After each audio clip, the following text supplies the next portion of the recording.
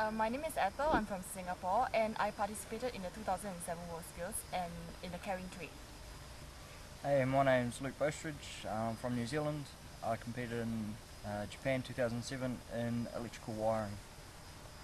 Hi, my name is Eugene. I'm from Singapore and I participated in the World Skills Competition 03 in uh, St. Gallen and I'm from the IT PC and Network Support. I, I feel really honored to be part of the World Skills uh, community and um,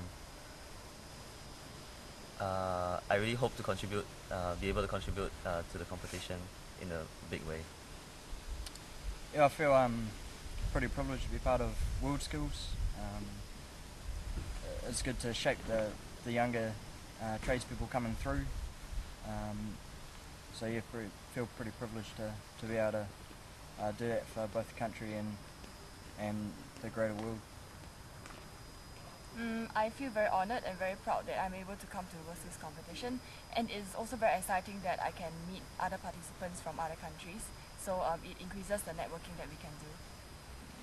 Yeah, I think um, World Skills has got a lot of lot to offer. Um,